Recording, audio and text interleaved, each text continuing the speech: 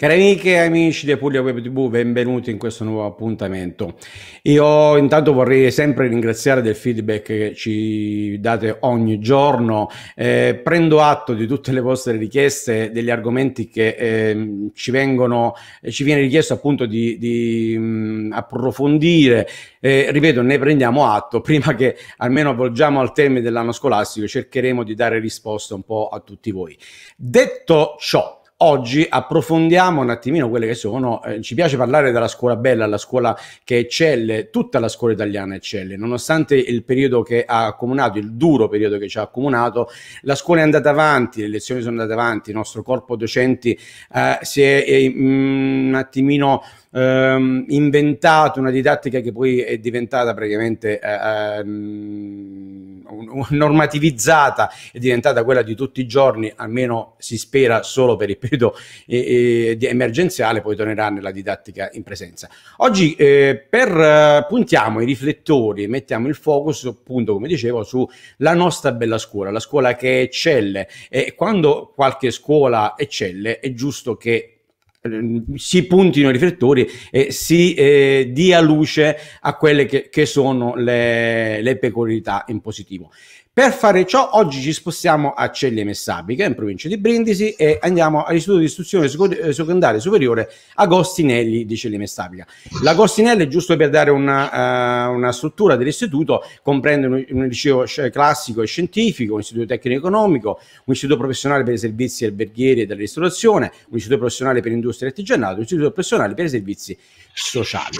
A parlarci di, del, dell'Agostinelli e di un progetto che, attenzione, l'Agostinelli ha aderito a un progetto ed è l'unica scuola in Puglia ad aver aderito, è l'unica scuola in Puglia che, che ha sposato questo progetto. Eh, abbiamo con noi il professor Silvio Azzilonna. Buon pomeriggio, professore. Buon pomeriggio a voi, grazie la professoressa Mariangela Cavallo, che in questo caso è, è, veste, è, in veste di rappresentante della dirigente in qualità di referente del plesso. Buon pomeriggio, professoressa. Buon pomeriggio. Io entrerei subito nel focus perché eh, ci piace dare voce in questo spazio che Apulia Web TV ci concede e ringraziamo sempre la testata giornalistica che ci ospita, darci possibilità di, di, di parlare del, del, mondo scolastico. Professoressa, eh, il progetto e-mobility, o meglio la eh, mobilità sostenibile didattica, che cos'è? Allora, eh, comincio col dire che, col ringraziarvi sinceramente perché eh, obiettivo principale di questo progetto di rete di scuole per la mobilità sostenibile nella didattica è sicuramente parte dalla, sicuramente dalla comunicazione, o meglio dalla promozione sul territorio nazionale di quella che è questa offerta formativa eh, che noi eh, partecipando a questa rete eh, affidiamo per, abbiamo per i nostri ragazzi e i nostri docenti, vedremo. Ehm, perché la comunicazione? Noi stessi come scuola, come Agostinelli, abbiamo avuto e siamo arrivati a, conoscere questa, questa, rete in maniera abbastanza casuale, eh, in quanto il nostro docente, quindi che è con noi oggi, il professor Azzilona, partecipando a un evento social in cui si parlava di mobilità elettrica, ha, ha potuto eh, entrare in contatto, quindi eh, conoscere il referente del, della scuola capofila e di conseguenza venire a conoscenza di questa rete. Eh, in questo modo il passaggio è stato breve perché la nostra dirigente, la, la dottoressa Angela Albanese, appena saputo del, del progetto lo ha, eh, lo ha subito appoggiato e lo ha sostenuto, quindi nel giro di pochissimi, eh, di pochissimi giorni noi siamo entrati a, a, tutto campo in questo progetto.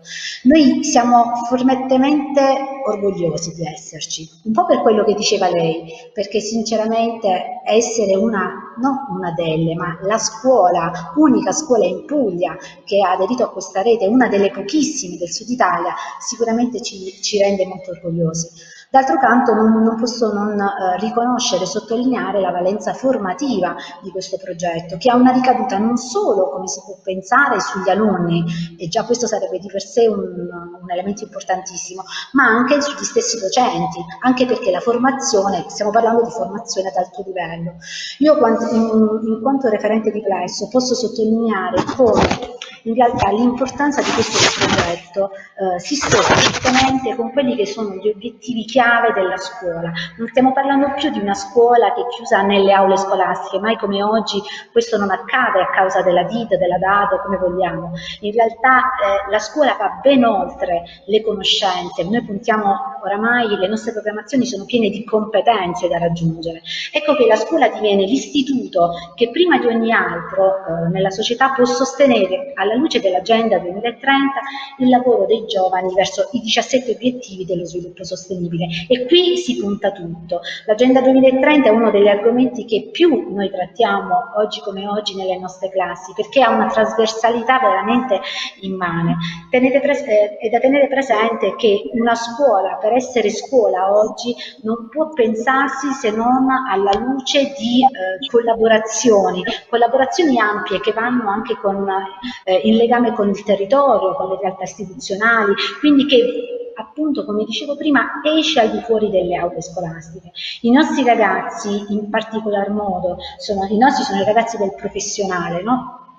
Mm, questi ragazzi hanno avuto in questi mesi occasione di, eh, di, confrontarsi con tematiche veramente importanti che in parte abbiamo già trattato noi a scuola, ma mai con questa, eh, possiamo dire, calibratura e con questa... Eh, calibratura sì perché eh, ve ne parlerà poi il professore, il taglio che si dà è molto importante. Un'ultima cosa a cui tengo eh, su cui anche con il professore e la dirigente siamo veramente contenti è il fatto che questa scuola ehm, o meglio questo progetto di rete di scuole ehm, ha una, possiamo dire, ha una programmazione possiamo dire che va per step, quindi ha iniziato sicuramente la scuola capofila in Piemonte, si è diffusa nel nord Italia e come obiettivo aveva la, eh, la formazione, se così possiamo dire, degli istituti tecnici e professionali, ma vedremo come questo poi eh, si va avanti, quindi l'obiettivo è quello invece di ehm, eh, eh coinvolgere gli istituti, eh, appunto, eh, anche le scuole di ogni ordine e grado. Quindi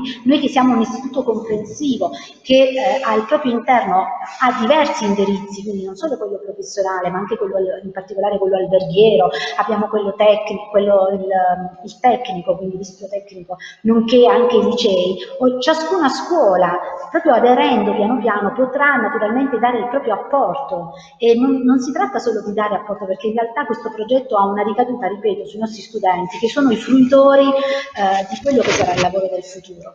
Quindi eh, questo è il modo, questa è la scuola, come diceva lei, la scuola che ci piace, la scuola che dà ai ragazzi le, eh, le, competenze per guardare anche al di là dei cinque anni e quindi una, con delle competenze sicuramente più valide. Quindi, Assolutamente d'accordo, eh, anche perché siamo nel 2021 e dobbiamo adeguarci ai tempi. Eh, diciamo che il, la situazione attuale ha un attimino anche accelerato l'evoluzione della scuola verso il campo tecnologico, verso una didattica eh, diciamo digitale. Però eh, è vero anche che eh, dobbiamo, sì, ogni scuola ha una propria autonomia, l'unione delle autonomie fa una scuola con la S maiuscola eh, nel, del territorio italiano. Ehm, quindi è assolutamente assolutamente bello questo, questo vostro progetto e, e spero che per, almeno per il prossimo anno scolastico l'adesione sia anche sposata in virtù del vostro ingresso anche da altre istituzioni scolastiche. Io ovviamente ehm, ho dimenticato, non me ne voglia, di salutare la dottoressa Angela Albanese, la dirigente scolastica di Istituto Agostinelli, che lei rappresenta in questo momento. Adesso passerei la parola invece al professor Silvio Zilona. Devo dire che ci siamo inseguiti per un po' di tempo, per varie vicissitudini, è un bel po' che volevamo parlare di questo progetto, che ahimè già risale all'accordo ratificato con la scuola capofila, l'Istituto Vallauri di Fossano, eh, già del 19 febbraio scorso. Ora, diciamo, abbiamo tardato un attimino nel parlarne per problemi organizzativi, diciamo così, perché è un po' difficile, voi vi siete abbastanza impegnati, quindi è difficile riuscire a trovare un attimino. E quindi oggi potremmo, eh, grazie a questa eh, tempistica ritardata, parlare dello stato dell'arte di questo progetto in questo momento. Prego, professore. Certamente, eh, infatti nel, nel corso di queste settimane rispetto a quelli che sono stati i nostri primi contatti, la rete ha diciamo, eh, portato avanti eh, diverse iniziative che ovviamente si riconducono a quelli che sono gli obiettivi eh, della rete stessa. Uno tra questi, fondamentale, è proprio quello di un percorso formativo rivolto specifico quindi sul tema della mobilità sostenibile, rivolto agli alunni eh, di questi istituti. E quindi loro adesso sono addirittura d'arrivo, hanno eh, fatto una ventina di ore di formazione. Eh, voi immaginate qualcosa che sarebbe stato impensabile fino anche a oltre un anno fa, Uh, immaginate questi ragazzi che al pomeriggio, dopo aver fatto diverse, diverse ore di, di lezione uh, a distanza o in presenza, si collegano nuovamente per uh, altre due ore per partecipare a, a questa iniziativa con dei docenti di altissimo profilo individuati dalle diverse scuole che fanno parte della, della rete e che quindi hanno eh, cominciato a conoscere, a, a potenziare diciamo, eh, anche il, le loro conoscenze le competenze su, su, queste tematiche che, come si diceva, sono, sono attualissime. Io eh, faccio semplicemente una riflessione, non so, eh, tutti noi sentiamo, ascoltiamo giornalmente eh, sui vari media, particolare in tv o su internet, le pubblicità delle nuove auto. Si parla di uh, full hybrid, si parla di plug-in, si parla di electric vehicle, insomma, tante uh, terminologie strane che uh, ai più non sono, diciamo, note, quindi non, non, è, non sono conosciute ancora queste nuove tecnologie che l'industria automobilistica sta portando sul mercato con una velocità impressionante. E eh, come si diceva, siamo in una fase, eh, ormai questo termine si usa, lo usiamo quotidianamente, di transizione. Si parla di transizione ecologica, si parla di transizione nel digitale, molto probabilmente si dovrebbe anche parlare di transizione economica, perché poi alla fine molto probabilmente saranno queste le basi per far eh, ripartire anche l'economia a livello globale dopo questa esperienza negativa del, del Covid. Quindi eh, è importante che ognuno debba, debba fare la, la propria parte e in questo la scuola, se parliamo di transizione, deve giocare un ruolo fondamentale perché è l'ambiente sicuramente ideale eh, quello della scuola, per andare a trasferire determinate conoscenze, determinate competenze che poi devono essere applicate nel, nel mondo lavorativo. Assolutamente. Siete d'accordo. E, e, questo comunque è, è un plauso comunque che eh, le faccio personalmente, ma sicuramente eh, come le è stato riconosciuto dalla dirigente nei suoi confronti, perché da, da, una nota che leggevo che comunque lei è quello che ha, ha colto l'opportunità, insomma, leggevo che in questi periodi difficili come quello che stiamo vivendo, un'occasione per poter creare la consapevolezza che il mondo possa essere cambiato e migliorato e di come il Covid sia potente, ma la sostenibilità lo è ancora di più. Mai parole eh, sono più vere di queste. Infatti, eh, e dobbiamo ringraziamo professore per la sua, per suo, la sua intuizione. E questa intuizione eh, adesso in questo momento si è, si è, sviluppata in qualcosa che sta andando avanti. Sono sicuro che eh, verrà accolta anche da altre istituzioni scolastiche perché eh, comunque la rete presumo che si stia allargando. Quindi, eh, noi oggi cerchiamo di dare luce a questo, a, al, al, progetto in modo che anche altre istituzioni possano coglierne la, la fattibilità e, e appunto mettere in atto magari per il prossimo anno scolastico, perché questo ormai credo che sia, sia a, al termine. Benissimo, io ehm, sono davvero contento di avervi ospitato. Ehm, ovviamente quando volete la parola, eh, avete altri progetti o volete aggiornarci in merito ai lavori in corso, magari anche prima, prima della fine dell'anno scolastico, ma ancora un mesetto, un po' di tempo ce l'abbiamo, siamo ben lieti di assolutamente di ospitarvi. Vi ringrazio della vostra partecipazione e vi saluto alla prossima.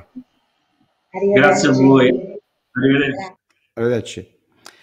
Cari amici, questa è la scuola che ci piace, ripeto, e spero che, eh, di aver dato un buon, buon, buon, focus sul Gostinelli di, di Cellime Sapica e l'auspicare che tutte, o meglio, buona parte delle istituzioni scolastiche ne colgano la stessa opportunità e questa rete non sia solo eh, per poche istituzioni, in questo caso l'unica in Puglia, ripeto, che si allarghi in tutte le scuole della Puglia, perché questo fa bene non solo alla Puglia, fa bene alla scuola, fa bene all'Italia, fa bene al mondo intero, ovviamente mi oserei dire.